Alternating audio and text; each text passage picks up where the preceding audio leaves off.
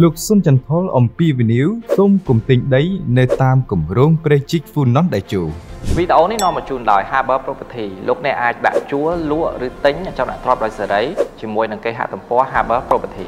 នៅក្នុងបទបង្ហាញនាព្រឹកថ្ងៃទី4ខែឧសភាឆ្នាំ2024ឯកឧត្តមឧបនាយករដ្ឋមន្ត្រីសុនចន្ទថលបានអំពាវនាវយ៉ាងដូចនេះថាក៏សូមអំពាវនាវដែរណាសូមកុំរត់ទៅទិញដីនៅតាមប្រែកជីកហ្នឹង ទិញទេទិញមួយក្រេ50សេនចាំរដ្ឋាភិបាលយកលក់ឲ្យមួយក្រេ10ដុល្លារ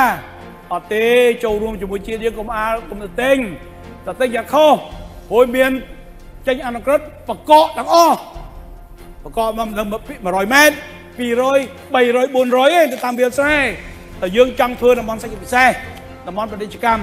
ការក្រារំលឹកនេះគឺដើម្បីកុំឲ្យប្រជាពលរដ្ឋត្រូវចាញ់បោកឬទៅទិញនាំផលពិបាកនៅពេលក្រោយឯកឧត្តមឧបនាយករដ្ឋមន្ត្រីសុនចន្ទថុលបានបន្ថែមទៀតថាគម្រោងនេះមានផលប៉ះពាល់តិចតួចបំផុតដោយសារតែភ ieck ច្រើននៅតាមព្រៃជីកនេះគឺសុទ្ធតែដីវាលស្រែលោកបានបន្ថែមទៀតថាក្រសួងសាធារណការនិងដឹកជញ្ជូនបានបញ្ជូនឯកសារទាំងអស់ទៅក្រសួងសេដ្ឋកិច្ចនិងហិរញ្ញវត្ថុរួចហើយដើម្បីធ្វើការដោះស្រាយផលប៉ះពាល់ទាំងនេះទៅតាមផ្លូវច្បាប់ ទាក់ទងនឹងការចំណាយនិងការផ្ដល់សំណងប៉ុន្មានប៉ុណ្ណានោះក្រសួងសេដ្ឋកិច្ចគឺជាអ្នកវិតម្លៃដោយមិនមែនយកដីប្រជាពលរដ្ឋដោយគ្មានការបង់ប្រាក់សំណងអ្វីនោះឡើយសូមជម្រាបជូនផងដែរថារាជរដ្ឋាភិបាលកម្ពុជានៅតែបង្ហាញអំពីជំហរសម្រាប់គម្រោងព្រៃជីកមួយនេះឲ្យកាន់តែបានហើយសម្រាប់គម្រោងព្រៃជីកហ្វូណនដេជោគ្រោងនឹងចំណាយថវិកាចំនួន1700លានដុល្លារសហរដ្ឋអាមេរិកហើយបើតាមផែនការគម្រោងសាងសង់ដែលមានប្រវែង180គីឡូម៉ែត្រ